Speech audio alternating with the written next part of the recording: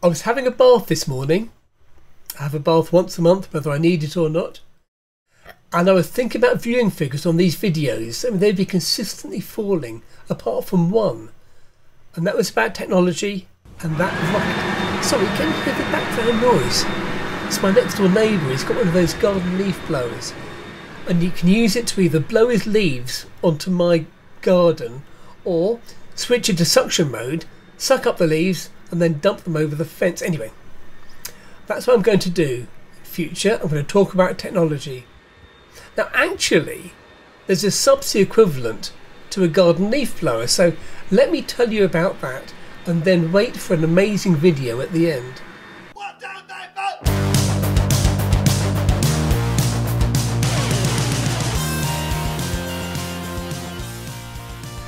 The subsea version of the leaf blower is called the flow excavator. It's designed to remove material from the seafloor.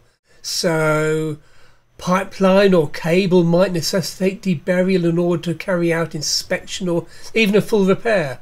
Uh, accumulated cut drill cuttings can demand removal or UXO clearance or archaeologists sometimes use them to blow sand or to remove sand layers over a target. And the go-to tool for this is the excavation dredger. They come in a variety of sizes from 3 inches up to 12 inches or more. Typically, the larger the dredger size, the greater the flow rate it can achieve, the larger the rocks that can be transported, and the quicker the removal. Flow excavators are normally made of steel, although one manufacturer uses titanium, and that's a lot lighter and easier to handle. So, simplistically, an excavator is used to suck material in one end and eject it out of the other. On the top is the motor. It's normally hydraulically driven, although there are some companies now have started to use electrically driven motors. So anyway, talk about hydraulic ones. Hydraulic fluids pumped at highest pressure down the umbilical and into the hydraulic motor, but the returning fluid routed back in a closed circuit. The pump shaft is directly connected to multi-stage rotors running the entire length of the assembly. And because the components are in line, it has a very efficient hydrodynamic flow. So seawater sucked into the intake and the turning rotors accelerate its flow. And when the water flow gets to the end of the pump section, it's diverted both downwards and backwards in a gentle 180 degree arc into the ejector section. The water then enters a venturi, venturi tubes like constriction where large volumes of incompressible water are suddenly forced through smaller diameter bores and this causes the flow through it to rapidly accelerate. As the water passes through the exhaust, it essentially pulls the flow of dredge water and any entrained sediment through the exhaust with it. The received wisdom with the keeping the flow linear would improve flow rates, but one manufacturer has introduced a helical element in front of the Venturi, and they say that this changes the flow pattern to give considerably more suction.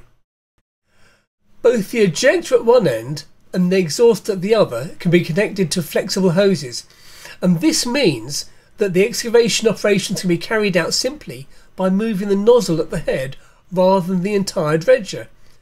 Similarly, the ejected material can be placed as far as possible away from the site. But what happens if the whole thing gets blocked?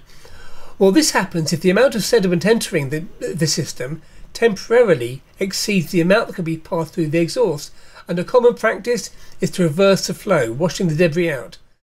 Many systems have a sliding mechanism that engages a backflush valve. Now, the alternative is a water powered mechanism with no moving parts. Alternatively, it may be that the part of the operation actually requires the water flow to blow rather than suck.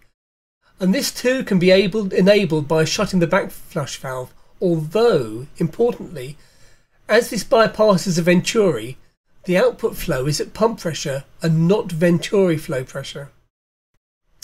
The suction dredges are conventionally located on the right side of the ROV. And this is because on the left hand side there's a a grabber, but the right hand side there's a more dexterous uh, ROV manipulator, and this is able to more accurately um, position the suction head around wellheads or similar targets.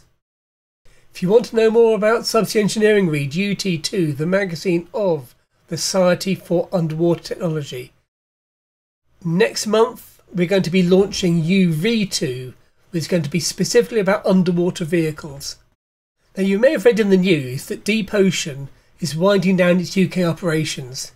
Now, Jim Pyra, who's the head of geotechnics there, has put together a really cool film.